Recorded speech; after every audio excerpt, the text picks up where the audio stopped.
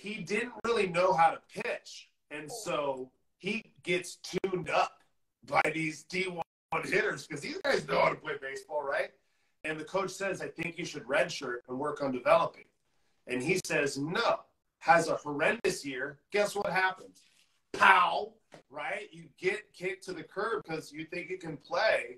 You got to show up and play. Or the coach said, I think you need to develop more. You should develop more. Like, it's okay to develop. Like, take a, what do we call it, a dead year or something Yeah, like that? yeah. Gap year. You can sign up for gap year training right here in San Diego, California. Come down, join our unlimited program. We'll take care of you hitting, pitching, strength training, live bats, arm care, health.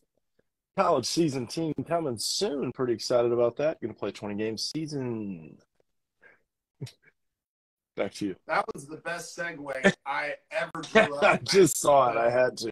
I had to jump on it. so that that's kind of the the last thing that I really want to say is just like I got a lot of guys that want to go to college for a lot of different things. Like there's a kid that wants to play two sports in college, and I'm all for it, right?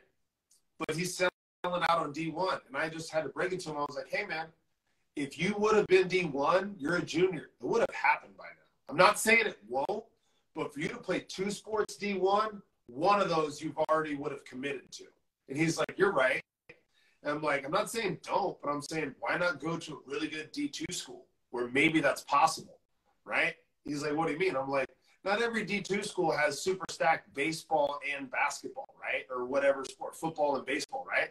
One of those is going to have a little bit downtime because it's not a D1 school, right? You don't have the marketing and the travel and the this and the that, right? Because that's a that's a thing, dude. Like I couldn't imagine playing football for like Oklahoma, right? And just like traveling and then like I also want to go play baseball this year, right? It's like, bro, you're probably not doing anything till December. Like honestly, you're probably not doing anything. So if that's your goal, again, the two sport guys that are out there, which I want you to exist, because I want a Bo Jackson, I want a Deion Sanders, I want it.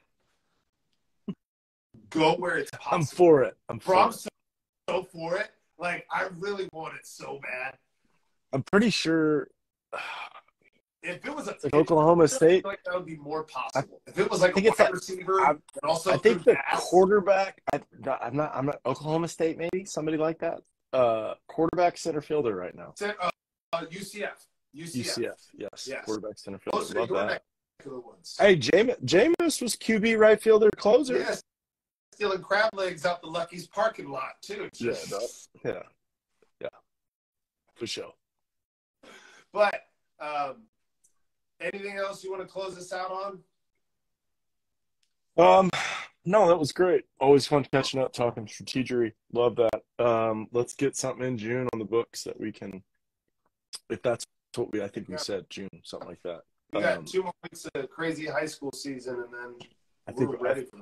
I think we do too. I think we have two weeks more too. So we're gonna start putting some summer training stuff out as well. So we're excited about all those things. We will be having summer training and other really really fun stuff coming soon. So thank you guys for watching. Please like and subscribe. Please DM us if you have any questions about anything. Thank you guys. Later, dude.